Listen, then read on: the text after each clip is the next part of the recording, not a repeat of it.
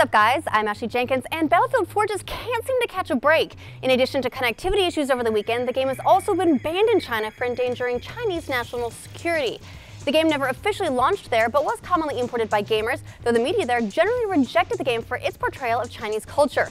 A military editorial claims that video games are a new form of cultural warfare, saying the use of video games to discredit one country's image in the eyes of other countries is a new form of cultural penetration and aggression.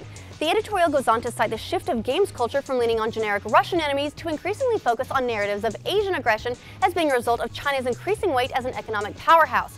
Author Gong Yu Kong explains, in recent years, with the boosting of China's national strength, China threat theories run rampant and foreign companies are increasingly keen to put the Sino-US conflict in their games as a gimmick to attract attention. Following the release of Battlefield 4's China Rising DLC, which the nation saw as salt in the wound of an already anti-Chinese campaign, the game has been labeled a cultural invasion and ordered all information about the game to be banned.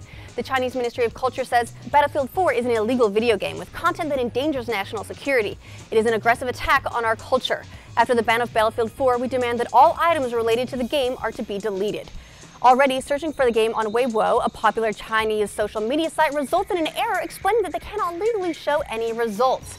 Even in the rest of the world where the game is perfectly legal, it continues to have problems, though a number of significant issues have been fixed through the updates for various platforms the developers have released over the last several weeks. Over the weekend, the game experienced severe connectivity issues, with a notice saying, we are continuing to monitor some intermittent connectivity issues affecting some players across various platforms. The notice has since been removed, indicating a return to normalcy, at least in that area, but several major issues remain. Of the top 22 bugs DICE identified as the main issues, they're still investigating disappearing crosshairs, rubber banding issues, missing hit effects and damage, delayed damage, frame rate drops, desynchronized game worlds that appear different for different players, and an Xbox 360 specific bug that's causing a significant number of crashes.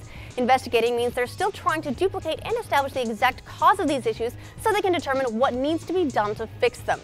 Earlier this month, on December 4th, EA announced that further work on Battlefield 4 content, including expansions and DLC, would be put on hold until the major issues were fixed. Next up, Joe Danger developer Hello Games has learned that their insurer will not be covering any of the damage done in the recent flood. The developer was flooded Christmas Eve when a river near the Guildford-based studio broke its banks and pretty much everything in the studio was destroyed, including computer equipment, monitors, and personal items.